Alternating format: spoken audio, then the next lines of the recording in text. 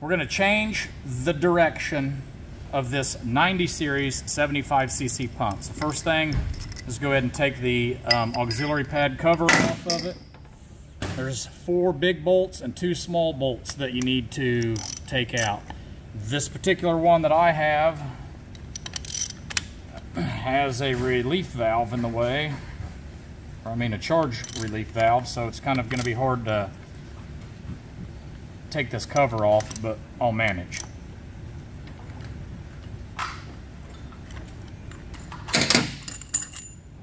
Go ahead and take these all the way out.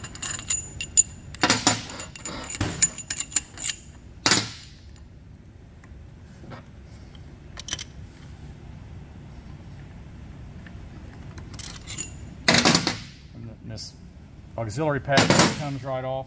Next, you've got two small plugs to or um, bolts to take out. Uh, once again, this is held by that charge relief. So I probably should have taken that out.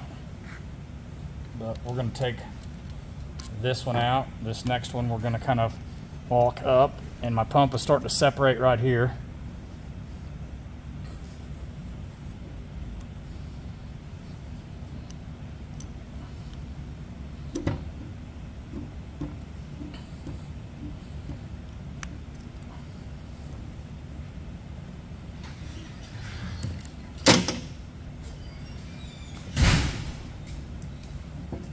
Okay. Next, I take the charge pump apart.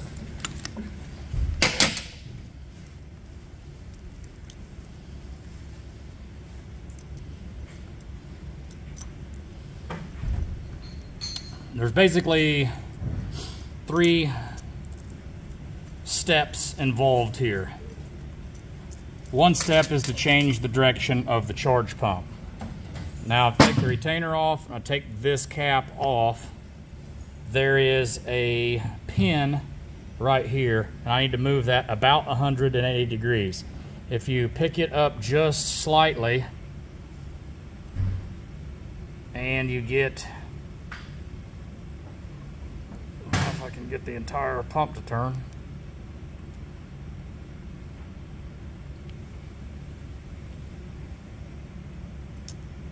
Okay, I moved that 180 degrees and reset that. So that's that part of it's actually done. But I'm not gonna put that together quite yet because I'm not gonna fully put that together because I may have to fight that. But I'm gonna go ahead and put my cap, as the cap has a indexing hole in it, I'm gonna put that all together. I'm gonna put the retainer on there and I'm gonna put like two bolts in there to hold that just for now so that that doesn't come completely apart on me for my next step. Because I may have to take that apart to line everything back up. Okay, so I've got it separated here. I'm gonna pick this whole thing up and I'm gonna pick it over and do the next steps. As I turn this over, this um, valve plate right here has got arrows on it and I'm going to flip it over the other way so that the arrows go the other direction. As it was this way, now my pump turns this way. Now it's going to go this way, and my pump's going to turn the other way. That valve plate has to be turned over. Now that valve plate might be stuck to this half, it might be stuck to that half. Doesn't really matter where it's stuck. Just notice that these are the alignment pins that hold it when we go back together. So I'm going to take the gasket and I'm going to put the gasket over here. Once again, there's some little alignment holes to align that. That can only go on one way as there's holes that line up. Here we have logic plugs, okay?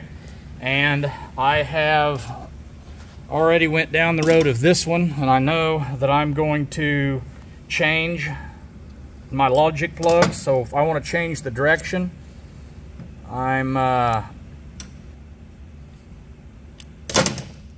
I'm going to take this logic plug out.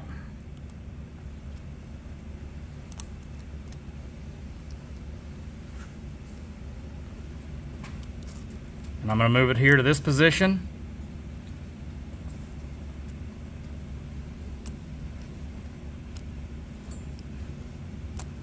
take this logic plug out.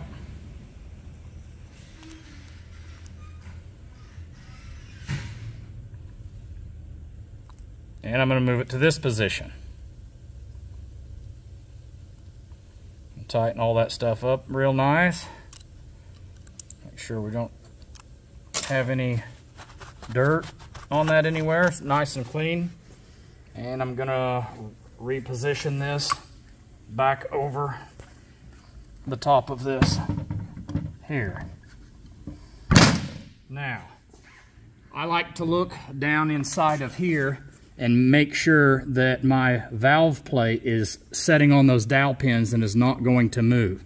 Now, and then I this particular table has a hole cut in it for the shaft to stick through and I can reach up in there and turn that shaft to help line all this up. Now, if that doesn't line up, like I'm having trouble lining that up, my next step is to carefully take this retainer plate off of the charge pump. And that will allow it to fall and then I have to line everything up piece by piece here which sometimes is easy sometimes it's rather troublesome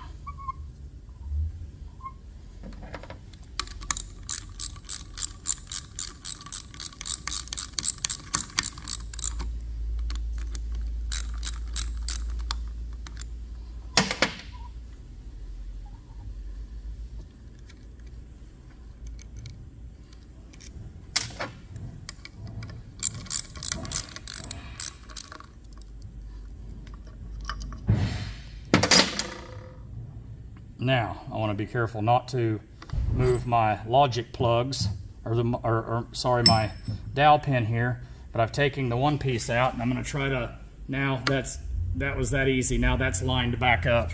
And that can go down all the way, is the, there's always spring pressure on there that's going to hold that back up, but I've um, made sure that I've lined that stuff up. And I'd like to start my little bolts.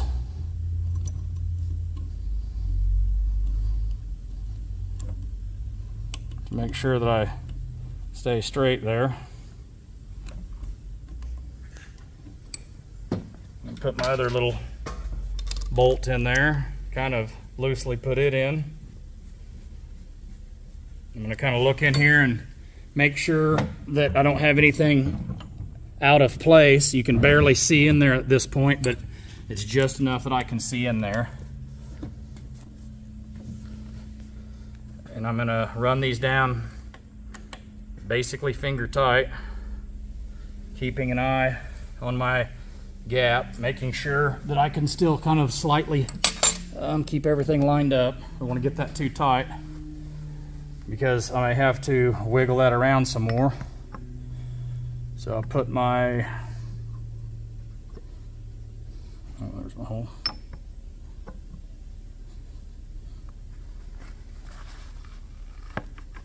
Okay, that's locked down inside there. I felt that go. Okay, my next, oh, let's put all our pieces in there with it.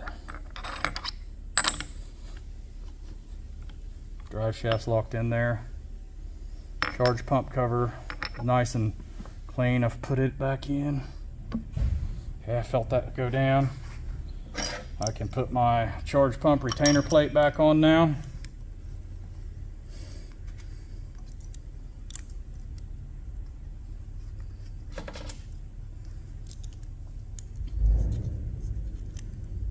Now at this point I should be able to turn that pump shaft from the bottom, but it may take me a good pair of pliers or maybe even a small uh, pipe wrench or something to be able to turn it. It's going to be stiff.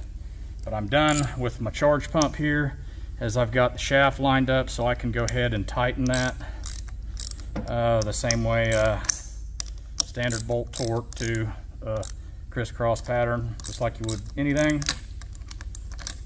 Come on.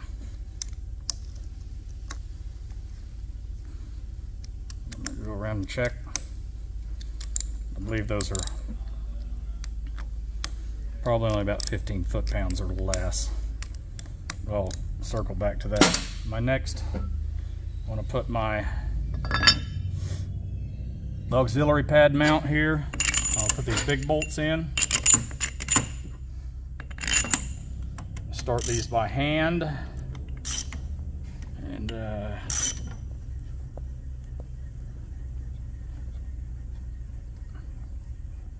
get them started a little ways.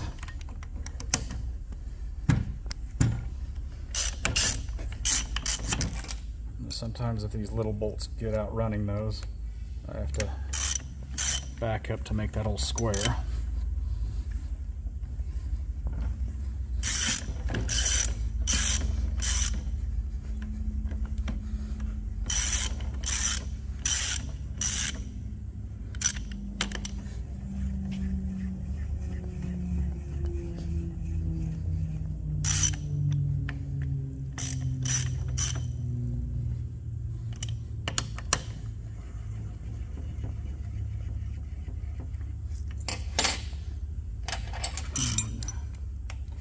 Now at this point, all of my six bolts, two big ones, and the, the, or the two small ones and the four big ones, I just kind of bring those down by hand. I'm watching my gap that's down here and making sure that it becomes fully closed without any pressure, excessive pressure, I guess.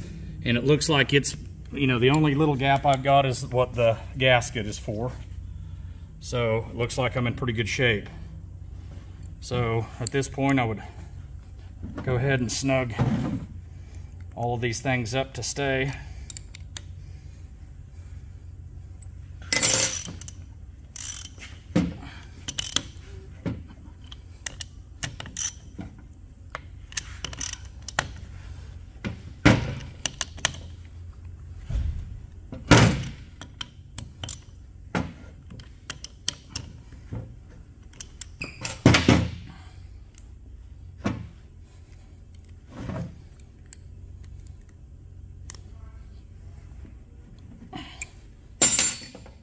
And put our auxiliary pad cover back on. We can tighten these two bolts and it's done. That pump is now ready to turn the opposite direction.